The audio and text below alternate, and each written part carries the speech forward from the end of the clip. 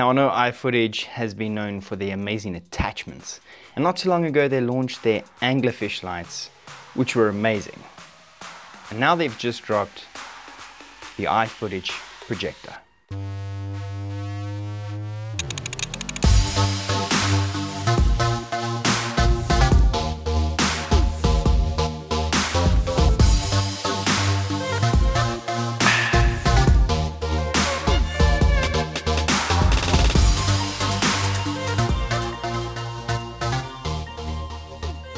Welcome back to the channel. iFootage has just dropped their brand new projector and I'm going to show you as much as I can about this projector and try and keep this quite simple. Projectors aren't really something new but when they're designed correctly they work very well. Often projectors in the industry are referred to as optical snoots. So let's check it out. Starting off in the box. Now I'm a sucker for a good case. Now the anglerfish lights did come with a case but the case wasn't anything like this one with a projector. It's a very premium case, it feels good, feels solid, and iFootage has thought something through that I'll get to in a sec. The projector set comes with a 40 degree lens and there is a 20 degree optional lens you can buy as well. Now when you open the case for the first time you'll see that the projector lens is in one corner, however once it's all assembled together it fits back in the case like that.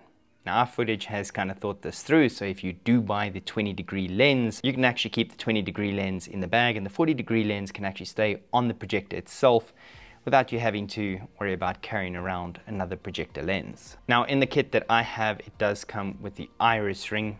It also comes with 20 different gobos or patterns if you want to call them. From what I understand, and in the AV industry, these are referred to as gobos. It's essentially a piece of metal that has been stenciled out to create a pattern on the wall. Like that pattern over there. No, it is the middle of the night and there is no sun coming through bleeding on that wall to give you that kind of morning sunrise through the blinds. Also, it did come with a few paper filters as they're referred to. If you're in the photography industry, you'd know these as gels. It's kind of like a bit of a plastic gel that you do put over the front. Features. Now this is a completely physical device. There is no digital aspect to it. But to make this quite simple, it is a Bowens mount. So if you have any form of light, cob, LED, probably a strobe if you really had to, you could mount this to almost any light that you own. Now I do advise you to use a lot stronger lights when you are using a gel or one of the gobos and the patterns. A lot of the light does get diminished when traveling through something like an optical snoot. So it is better to have one of your stronger lights running through that.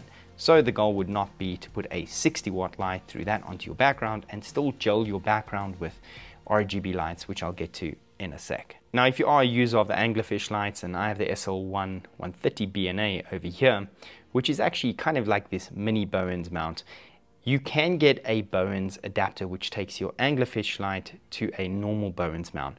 And what is pretty cool about this is when it is attached to the front, it has its own little mounting stand for the top of your light stand, which actually offsets the weight of the projector so it's not too front heavy and doesn't kind of fall forward all the time. It also has built-in geometric light effects, which is what some of us refer to as the blades that you would push in, and that allows you to kind of shape the circular light that would normally come out of there. Then just in front of that, you can insert the iris ring, and that allows you to adjust the size of the circle that is projected out. If you remove that iris ring, you can place in your gobo into the provided clip, and that would drop in there and essentially shine the pattern out like it has here on the wall. Also, the front part of it where the lens actually slides in, whether you've got the 40 or 20 degree lens, you can actually slide that in and out and that would actually adjust the focus of the pattern so if you do want it to be really sharp in the background, you can, but if the background's really close to you and you actually want to blur out that pattern, you can do that too. Now, because the kit that I have has a few different gels with it, the gel thing is actually being placed right in the front. So you would remove the screw little clamp,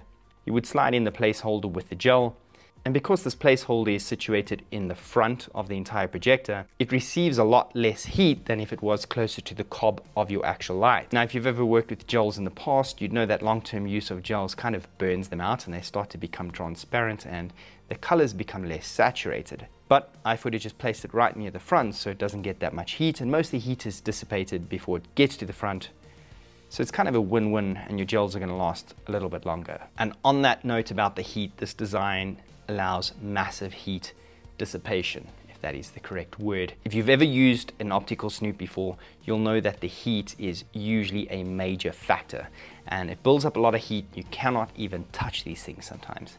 So the heat design over here allows majority of the heat to escape before it even gets to some of the gobos. And although they might be warm, it's not that it's impossible to touch like some optical snoots. Now when it comes to real world use, the options and the possibilities when using an optical snoot or projector are endless. And in true fashion on the channel, we try to give you a few different scenarios. First, the model shoot. Now here we set up a shot using one of the gobos on Michelle's face. We gelled the background using an RGB light and the gobo was projected straight onto Michelle's face. This kind of gives you this weird artistic look and it's something to play around with and it is quite fun. Then we put a gobo on the background and we lit Michelle with the 60 centimeter iFootage softbox and the softbox was on the SL1 130 BNA. Now the reason that we use the SL1 130 BNA, I'm just going to call it the iFootage light for now because all the iFootage lights are pretty much part of this insanely accurate color spectrum. And the reason we've used this on Michelle's face is so that we can get the correct color rendition of the skin tone. Let me explain. On most modern day cob lights, you can adjust the Kelvin temperature from warm to cold, whatever it may be. However, 5600 Kelvin is supposed to be where the sun sits, providing you the perfect color rendition of skin tone. Now what iFootage has done is, just because one light might say 5600 Kelvin is correct, it might be off with the CRI and different color measurements. But iFootage has mastered the art of delivering what they call sunlight spectrum. Basically what iFootage is saying is they have spent more time than anyone else to try and deliver the perfect colors. So if you are lighting up someone's face, you get that correct skin tone that every photographer and videographer is looking for. Not to mention all of this effort has been packed into a 130 watt light bi-color that is smaller than an iPhone 15, which is quite impressive. Now, if you look at these shots with Michelle, you'll see that she has got a little bit of a tanned, redder skin.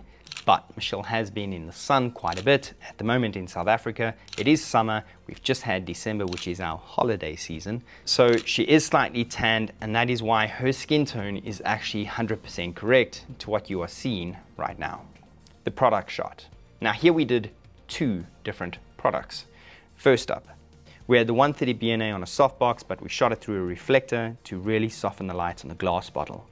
The projector was put in the 260 watt light that we have delivering a palm tree kind of background using the one gobo and we had RGB colors on the background. Now this gives you a very insanely Photoshop looking background but it's all in camera so for video this works amazing. Little tip on how to get this RGB in the background. Your gobo light delivering the pattern needs to be a lot brighter than your RGBs. Otherwise, your RGBs would essentially wash out the pattern. Then we put up a plain circle with no gobos in, so just the projector lens. And we put the beautiful Zhiyun Crane 4 with an IRIX lens on, which looks like a beastly setup. And just kind of made it pop and gave it this very dark, kind of moody look to kind of illustrate the product as it is. Very, very strong, impactful. Then we took the 5600 Kelvin range and we dropped it down to 3000 Kelvin to give a bit of a warmer vibe. Threw in a window pane looking gobo to give you this effect. And once we were done with that, we threw on a red gel on the front to give it this effect.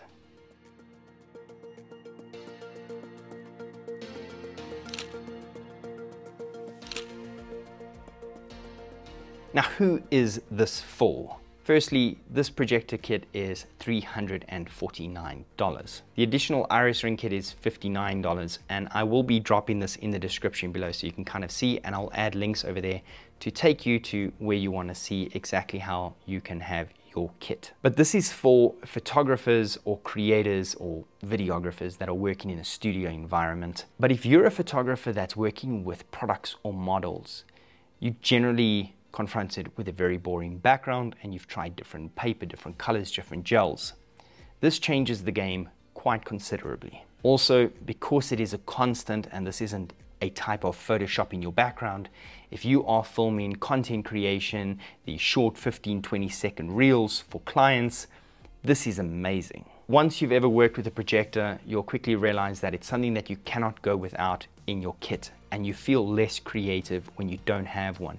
Even though you may not use it on every single shoot, just knowing that it is there to spice it up makes it worthwhile. Now iFootage did send this out to it, but iFootage is not paying us. In actual fact, when iFootage reached out to us, Michelle and I were super excited because we have been wanting to do something on a projector kit for a while. We have a projector kit, which I absolutely hate.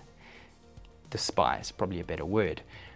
That has actually melted one of my lights due to lack of heat dissipation and actually melted the cob. So this video and review really came from a creative process and the passion to create something to show you guys what you can do with something like this.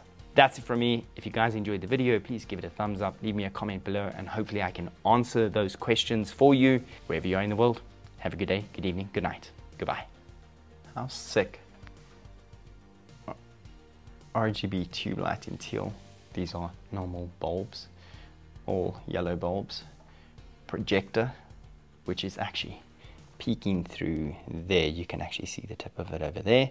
And then I have another RGB light outside of that door, giving you that teal kind of look. Quite proud of this little setup. What do you guys think? Anyway,